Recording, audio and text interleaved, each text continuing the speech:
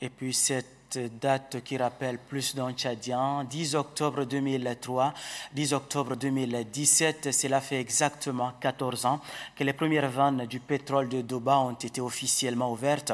Le 14e anniversaire est une occasion pour la rédaction de Téléchat de jeter un regard rétrospectif sur cet événement majeur et aussi sur l'impact de l'exploitation du pétrole, sans oublier bien évidemment les défis de l'heure. C'est un commentaire qui porte la plume de Adef Ahmad Ben Rahman.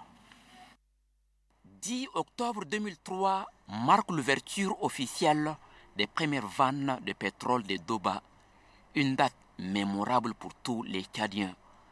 À partir de cette date, les rêves des Tchadiens est devenu une réalité.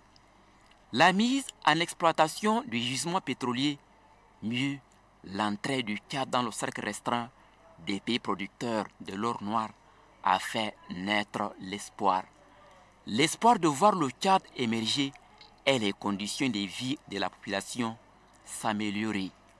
En son temps, la vente de cette manne, et ce jusqu'à une période récente, a généré d'importantes devises au trésor public.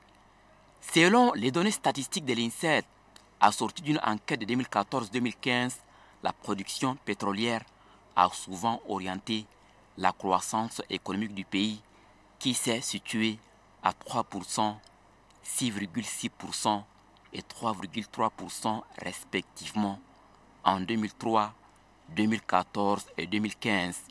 Le boom pétrolier a permis au gouvernement de faire des investissements remarquables dans divers secteurs de développement. La panoplie des réalisations est assez révélatrice, même si tout n'est pas rose.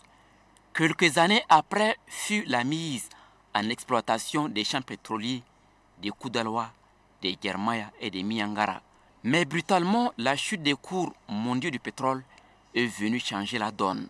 L'économie tchadienne est frappée de plein fouet. Pour faire face à cette crise, sinon pour mieux minimiser ses impacts négatifs, le gouvernement a opté pour la diversification de l'économie.